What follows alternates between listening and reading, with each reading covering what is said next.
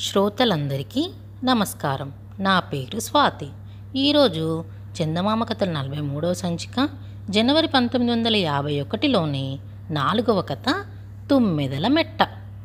పూర్వం అనగా సుమారు రెండు వందల సంవత్సరాల కిందట సింహాచలం దేవాలయంలో ఒక చిత్రం జరిగిందట. అదేంటో తెలుసా?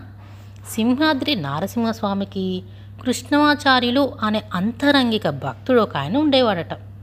ఆ వైష్ణవోత్తముడు భక్తిపూర్వకంగా మధురగానం చేసేసరికి స్వామి మెచ్చుకొని అతని ఎదుట ప్రత్యక్షమై ఆచార్యులు పాడే పాటకు అనుగుణంగా నృత్యం చేసేవాడట. వామ్మో!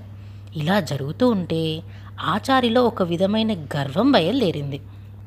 సింహాద్రినాథుడికి నేనే ప్రియమైన భక్తుణ్ణి. స్వామికి నేనింత చెబితే అంత. అని మనసులో అనుకునేవాడట. ఇదే సమయంలో విశిష్ట అద్వైత మతాన్ని ఉద్ధరించినటువంటి శ్రీ రామానుజ స్వామివారు దిగ్విజయ యాత్ర చేసుకుంటూ ఈ దేవాలయానికి విజయం చేశారు. మహానుభావుడైన రామానుజ స్వామిని అవతార పురుషునిగా ఎంచి అందరూ అనేక విధాల గౌరవిస్తూ ఉండగా కృష్ణమాచార్యులు మాత్రం నమస్కారమైనా చేయక నా అంతటి వాడను నేను అనే అహంభావంతో ఆయన వైపే చూడటం మానివేశాడు. సర్వజ్ఞుడైన రామానుజాచార్యుల వారు ఈ పాట గ్రహించలేరా? అతని మనసుకి పట్టిన గర్వాన్ని ఇట్టే తెలుసుకున్నారు.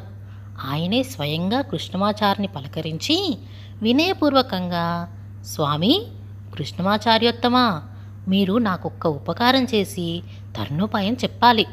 ఈ రాత్రి సింహాద్రినాథుని సన్నిధానమందు దేవరవారు గానమునర్చి ఆ దేవదేవుణ్ణి ప్రసన్నునిగా చేసుకున్న తర్వాత దాసునికి ముక్తి ఉన్నదా లేదా అని అడగండి.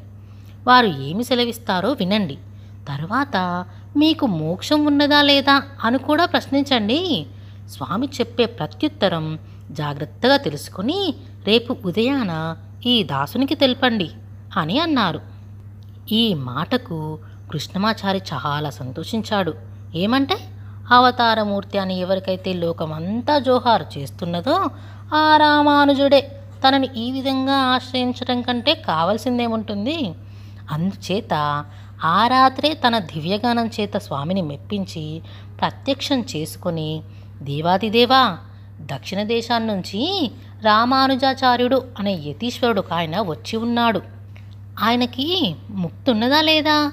ఈ విషయం దేవరను అడిగి జవాబు చెప్పమన్నాడు. ఏమిటి మీ ఆజ్ఞ? అని అడిగాడు. అప్పుడు సింహాద్రినాథుడు ఓయి భక్తవరణ్య ఆ రామానుజుడు కేవలం మునీంద్రుడాయనే. ఆయన ఇచ్చిన వారికే ముక్తి కలుగుతూ ఉండగా ఆయనకి ముక్తి ఉందా లేదా అనేది ఒక ప్రశ్న? అది సందేహమేనా? అని బదులు చెప్పాడు. అయితే స్వామి నాకు మోక్షం కలదా? అంటూ మళ్ళీ ప్రశ్న వేశాడు కృష్ణమాచారి. అందుకు స్వామి హోయి కృష్ణమాచార్య నీవు నాకు ప్రియమైన భక్తుడివే నిజమే కానీ నీకు మోక్షం ఇవ్వటానికి మాత్రం నాకు అధికారం లేదు. ఏమంటే విభూతి ద్వయాధికారం ఇదివరకే రామానుజాచార్యునికి ఇచ్చివేశాను. ఎవరికి మోక్షం ఇవ్వటానికైనా ఆయనే సర్వాధికారి. కనుక నీకు మోక్షం కావాలనంటే నీవు వెళ్ళి ఆయన్నే ఆశ్రయించాల్సి ఉంటుంది అని చెప్పారు. భగవంతుని వాక్యాలు వినగానే అంతులేని అహంకారం చెలరేగి కృష్ణమాచార్యుడు ఉగ్రుడయ్యాడు. ఇంతకాలమై నిన్ను ఆశ్రయించిన ఫలమిదేనా? పరమపదం కోసం పరులను ప్రార్థించమంటావా? అమితమైన భక్తి తాత్పర్యాలతో ఇన్నేళ్ళుగా నిన్ను కీర్తించి భజించానే చివరికి నన్ను ఇలా మోసగిస్తావా? అని నోటికి వచ్చినట్టల్లా నిష్ఠూరంగా మాట్లాడచొచ్చాడు. ఈ నిష్ఠురాలకి సహించలేకపోయాడు సింహాద్రినాథుడు. కృష్ణమాచార్య నీవు రాజసుడివి. తామసుడివి. భక్తితో పాడానని ఏదో మహా ఉపకారంగా చెబుతున్నావే. నీవు పాడావు నేను ఆడాను. నీ పాటకు నా ఆటకు సరిపోయింది. మరేమీ బాకీ లేదు.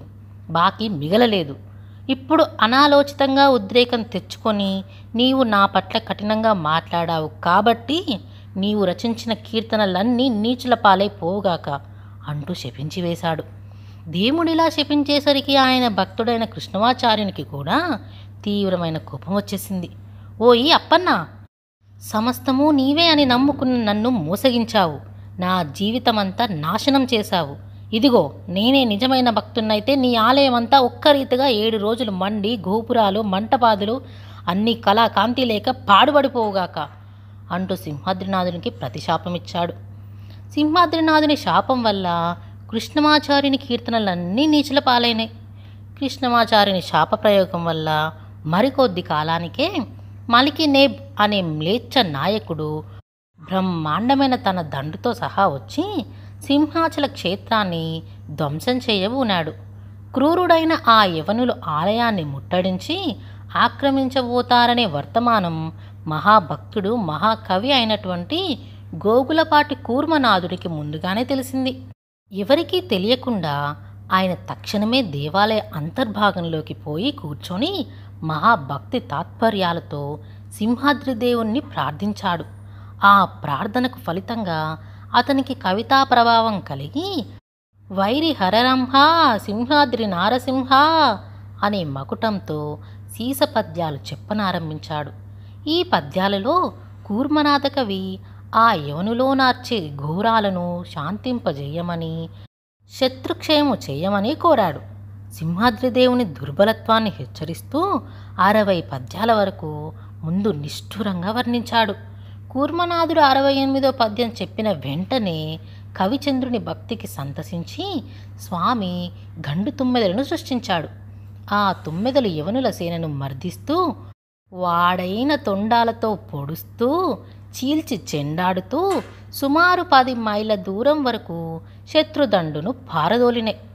ఈ డాకకు తట్టుకోలేక యవనుల దండు వాల్తేరుకు అరమైలు దూరాన ఉండే ఒక మెట్ట వరకు పారిపోయింది. నాటి నుంచి ఆ మెట్టకు తుమ్మెదల మెట్ట అనే పేరు వచ్చింది. తుమ్మెదల మెట్ట ఇప్పటికీ ఉంది. విశాఖపట్టణానికి అది శ్మశాన వాటికగా ఉపయోగపడుతూ ఉన్నది. ఈ విధంగా కూర్మనాథ కవి సూక్తుల వల్లనే సింహాచల క్షేత్రానికి క్షేమం కలిగింది. తరువాత కూర్మనాథ కవి తన నరసింహ శతకంలోనే స్వామి మహిమను కొనియాడుతూ కొన్ని క్షమాపణ పద్యాలు చక్కగా వర్ణించి చెప్పాడు. ఈ కథ రాసినవారు ముద్దా ముద్ద సోమప్ప శాస్త్రి పరశువాకం. ఇలాంటి మరెన్నో కథలను తెలుసుకోవాలంటే ఈ ఛానల్ని సబ్స్క్రైబ్ చేసుకోండి.